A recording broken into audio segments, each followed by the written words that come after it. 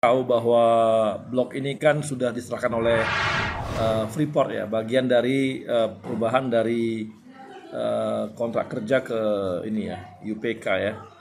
Jadi ada penciutan lahan mereka. Nah, penciutan ini sudah diberikan kepada uh, pemerintah, harinya ditanggul dipegang oleh ESDM dan ESDM sekarang membuka kesempatan untuk uh, operator untuk mengambil melakukan pekerjaan di sini. Secara uh, jadi kami melihat bahwa uh, ini harus diambil oleh salah satu BUMN juga gitu. Jadi makanya Antam yang kita minta turun untuk mengambil uh, wabu ini. Apalagi kan luasannya cuma bukan luasannya, jauhnya hanya sekedar sekitar 30 sampai 40 km dari uh, pusatnya Freeport saat ini Grasberg gitu ya. Jadi Artinya secara akses dan sebagainya bisa dikerjasamakan dengan Freeport juga.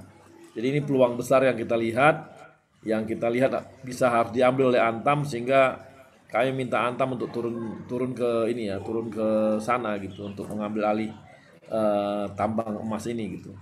Iya. Usai bersurat kemarin ya, Pak Erick Thohir kepada Kementerian ESDM atau kepada Menteri ESDM sendiri Pak Arifin Tasrif sendiri seperti apa responnya dari Kementerian ESDM Pak Arya? Ya ini kan ya namanya sama-sama pemerintah pasti responnya bagus dong. Tapi kan harus dilihat juga, tidak boleh juga kalau BUMN yang ngambil maka uh, nanti bisa berkurang pendapat pemerintah nggak bisa juga gitu. Jadi dari sisi satu lain bahwa pemerintah juga secara langsung bisa dapat keuntungan dari pengambil alihan tambang ini, sisi lain lagi yang ngelolanya tam, uh, antam. Jadi semuanya akhirnya kan akhirnya untuk kepentingan pemerintah gitu, negara bangsa lah gitu. Jadi di satu sisi uh, pemerintah tetap untung dengan maksudnya antam. Dari sisi uh, apakah itu pembayaran pembayaran pembayaran pajak atau dan sebagainya. Tapi sisi lain juga uh, pemerintah uh, kita juga diuntungkan karena BUMN yang turun tangan gitu. Gitu mbak.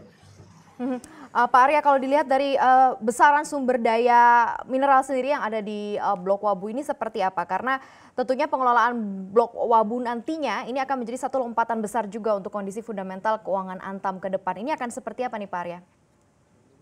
Ya kan kita tahu bahwa uh, Antam ini kan masih Pongkor dan beberapa tempat lainnya. Kan ini kan perlu dia ekspansi lain gitu dan butuh tempat penambangan baru dan jadi uh, yang di Wabu ini jadi satu peluang besar bagi Antam untuk mengembangkan uh, bisnisnya juga gitu ya. Jadi baik kita ini apalagi kan luasannya kan sekitar 40 ribu hektar itu. 40 ribu, 40 ribu hektar dan uh, nilainya itu sebentar ya uh, besarannya itu